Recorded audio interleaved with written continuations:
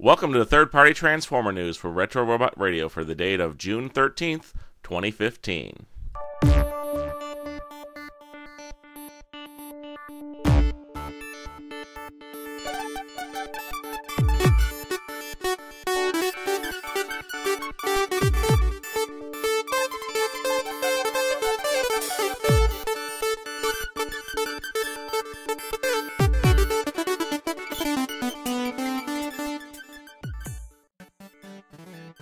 Alright, this week Dr. Wu showed off some teaser images of an upcoming upgrade for Combiner Wars Devastator. This one looks to be a set of replacement arms for the Scrapper figure, who Hasbro had the, in their great wisdom not only made incredibly hollow, but also a brick. It's kind of a G1 homage, right? Yeah, well, anyway, since Hasbro skimped so badly on the design of Combiner Wars Devastator, um, it looks like it's up to third parties just to add things like freaking elbows. Yeah. Pretty pathetic there, Hasbro. DX9 has been teasing uh, the development of their Carry figure, their version of Masterpiece Rodimus. You can see here some co- uh, some concept art. And this is the unpainted test shot of it. And supposedly this is what the painted final image is going to look like. Might need a little repro labels going on that chest there for the flames. It's just not 100%. But that's what uh, repro labels are for. You can see it looks pretty good as far as the robot mode goes, and that uh, Target Master does become a gigantic rifle. Uh, alternate mode is spot on, of course, and they even have uh, chromed uh, mufflers on the side.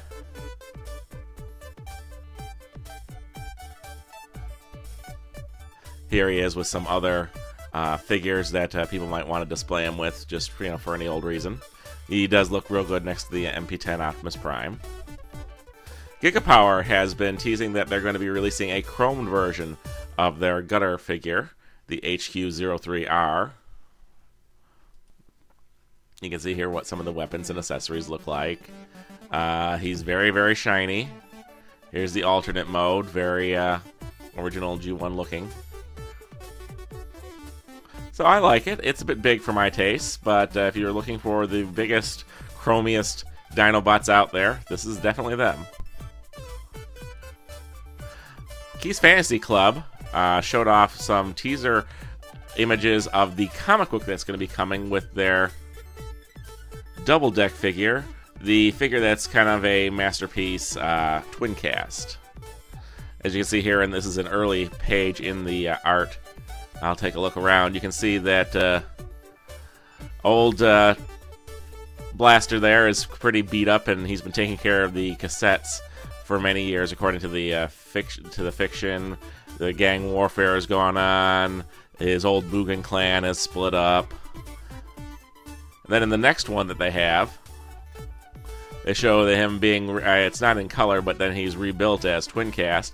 And the cameos are amazing in the background. You have your uh, uh, reflector inspired figure there. You got your Junkion, the Wreck-Gar, you got your Psykill, which are both going to be coming out from KFC. You got X Transbots uh, versions of Tailgate and uh, Windcharger.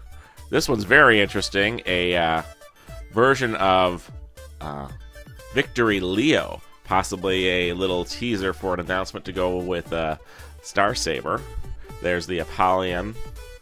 Uh, lots of uh, the upcoming Junkion figures, and this thing might be. People were uh, speculating the guy in the bottom right could be an Octane figure. So that's pretty interesting. Maketoys showed off a uh, prototype of their masterpiece inspired hardhead figure. And as you can see, it's uh, very, very G1 accurate, and the uh, turret actually turns, which is something I don't think the original toy did. And here's the interesting thing is that with their uh, cupola figure, the uh, Chrome Dome, it actually fits two drivers inside, so you can put one of the other ones in there. Maketoys also showed off their visualizers uh, near finish uh, product here. That's their version of Reflector for the Masterpiece uh, collectors. Maketoys also showed off their rover uh, in prototype form, who's inspired by Generation 1's Streetwise. Now, the fun thing about this is, is they're releasing these guys individually. So if you were looking to make a uh, Defensor but didn't want to invest in like a several hundred dollar uh, box set, these guys I think are 70, 80 bucks each. So that's interesting. I wasn't really interested in their Defensor. I wish they would have done this on one of the other uh, combiners, like the uh, their version of the Computron combiner. I might have been interested in one or two of those if I had the money, but I'm definitely not interested in a multi hundred dollar box set. Sorry. Mastermade showed off teasers of two upcoming figures. You may remember Mastermade made the transforming super deformed Metroplex. Well, it looks like they're doing a Trypticon and an Omega Supreme.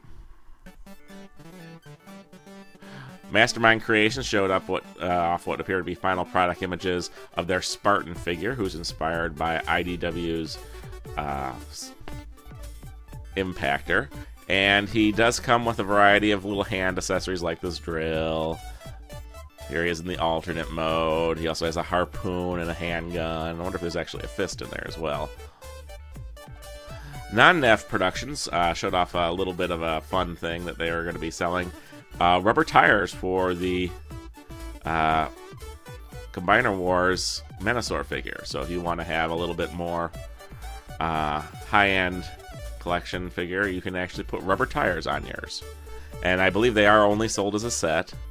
But you know, considering the fact that a lot of these molds are going to be recolored and remolded into different figures, I'd have to think there's going to be other uh, options available out there. I mean, for instance, we learned recently that uh, Off Road is going to be Ironhide, and uh, Blackjack there is going to be uh, Rodimus. So maybe he'll be releasing the tires for other Combiner Wars characters, or you can just use these on them.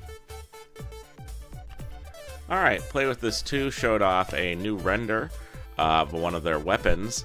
Uh, if you have a keen eye, you might recognize this weapon from some of the teaser art of their uh, Kickstarter earlier this year. Uh, this is the uh, mace weapon that was used on lots of the uh, promo art, although this is now a render, which means it's probably closer to being an actual toy. You can see that it was the uh, weapon on Jet Strike, their version of uh, Pretender Starscream.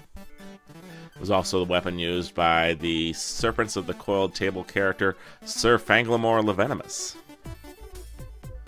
uh, Imperator, their version of Senator Ratbat, carried that mace, as did Rawbat, their Voltron Robeast inspired figure. So the, a lot of the uh, figures for their line just got their hand weapon, so that's kind of cool. We had this image uh, come out recently. Uh, this is what the Toy World Dinobot Combiner, the first three figures, are out now. And so you got two legs and a torso if you wanted to see what it looked like.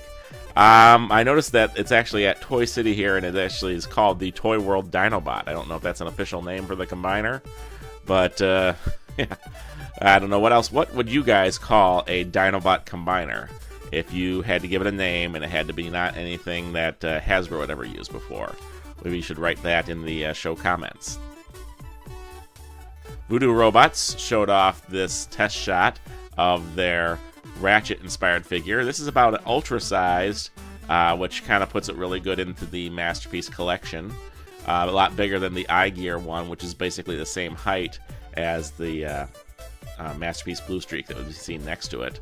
I've honestly always felt the iGear uh, medical specialist should have been just a uh, class, a good large size classics figure, whereas a lot of people always threw it into the masterpiece just because they didn't have anything. But uh, this one definitely is scaled with the Masterpiece figures if that's what you want to collect. Because here he is in his alt mode. And next to the MP10 Optimus Prime. Uh, neat thing about him is these weapons that he's coming with. Uh, the top gun looks like kind of an animation accurate gun. The bottom gun is the toy accurate gun uh, that came on his trailer. So that's kind of a cool uh, combination. You get both to pick from. X2 Toys showed off this prototype of their trailer and some accessories add on for the Generations Deluxe Orion Pax figure. Uh, as you can see, this is the trailer that he used in the IDW comic books, and it does transform into a little battle station. We also saw some little teaser images of their upcoming uh, Haikyuu or Jinrai inspired partner figure for the Toy World Orion or other Optimus Prime figures. Uh, we're looking to find more details on this soon. X Transbots showed off this nearly finished version of their Andras figure, who's their masterpiece Scourge. This one's about the same size as a Masterpiece Starscream figure, and he will indeed hold MP10's Matrix in the chest. So a lot of people looking forward to that, and there's your Masterpiece Fracas with him.